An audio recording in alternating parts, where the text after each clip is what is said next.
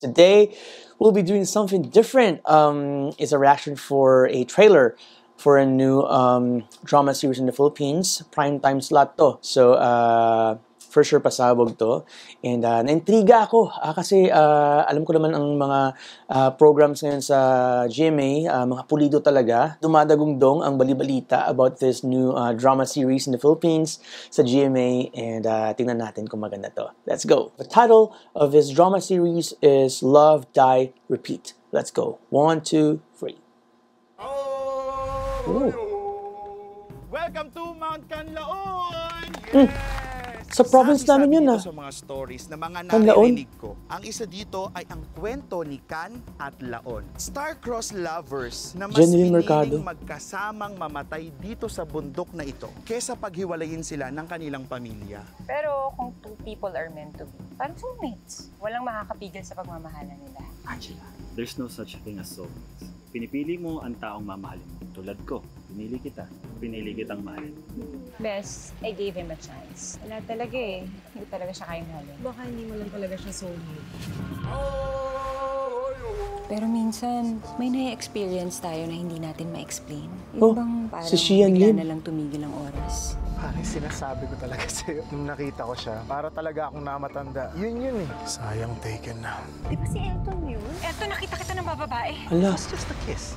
Ikaw ang mahal ko. Ayoko na sa'yo! Break na tayo! what? He slapped her. Kapal ng muka.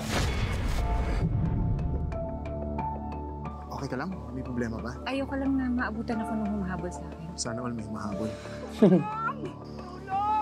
Dahil sa kabutihan ninyo, gagabayan ni Kanlaon ang pagsasama ninyong mag-asawa. Hindi pa kami mag-asawa. Oo nga, ngayon lang kami nagkakilala na eh. Manliligaw pa nga lang ako eh. Napakahalo po ang kasagutuhan at ang hinaharap Hala. ninyong dalawa.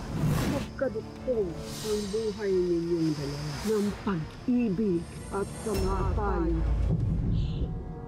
Oh my gosh! Naalala mo ba yung sinabi ng matanda doon sa bundok? Tungkol sa future natin. Sa pag-ibig at kamatayan? Lahat naman tayo nagmamahal, di ba? Lahat din naman tayo namamatay. Tingin ko ang importante doon yung gagawin natin bago tayo dumating sa hukay. Ano yung dahilan kaya ka nakapag-break sa akin? Break na tayo, di ba? So kung makita mo akong may kasamang ibang lalaki, may kausap akong iba, wala ka nang pakialam doon. May point siya. Akas natin ah.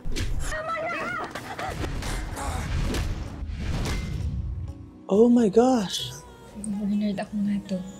Kahit anong mangyari sa akin, gagaling ako. Last tabi kita. Sinumahal na ata kita. Ikaw na yata yung soulmate ko. Ah! Angela, just like this ring, so does my love for you. Mamahalin kita. Nagpakasal sila. Hanggang sa huling hininga ko.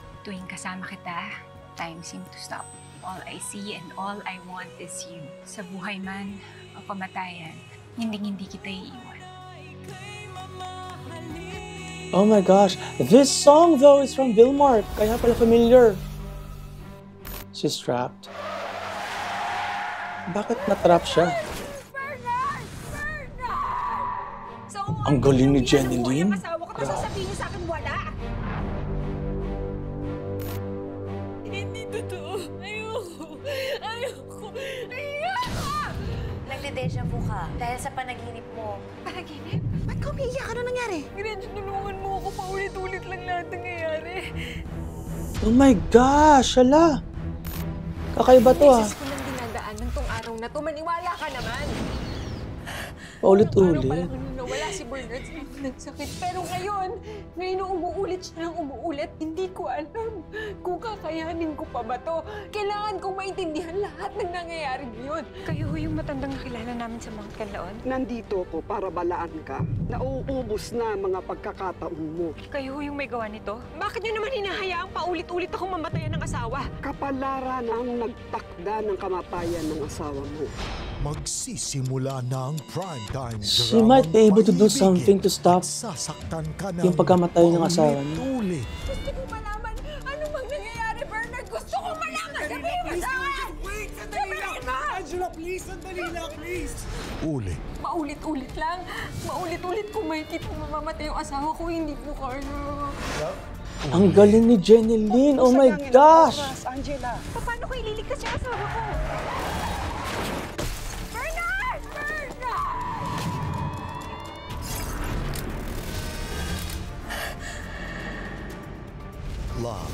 Die, repeat. Nasa time loop nga ako. Pero paano umuulit ang oras? World premiere ngayong lunes, 8.50pm What? on Bago GMA. to ah. That was so interesting. Oh my gosh. Sino ang writer nito, ha? Parang ang ganda-ganda naman ito. And grabe yung acting ni uh, Jeneline Mercado. Top-notch talaga. Grabe yung iyak niya. No, madadala ka talaga. Pero I think it's really promising. And um, let's pray na kakayanin ko mag-react sa mga sa mga teleserye ngayon dahil medyo loaded tayo dahil nga nagdagdag na tayo ng mga yung social media natin, may Facebook page na rin tayo and may TikTok na rin. And uh, so far medyo kailangan ng ng consistency kasi nga medyo nag-boom. Ah, ngiyabang ko, no? Pero hindi, totoo. So, ayun, hopefully makayanan ko mag-react kasi gusto ko eh. Gusto kong ma- mapanood to. So, yeah, tingnan na lang natin guys and uh, depende rin yun sa, sa support ng uh, mga tao. Tingnan natin kung maraming manonood ng trailer reaction na to kasi that means you're interested. Okay? Thank you guys and see you again next time. Bye.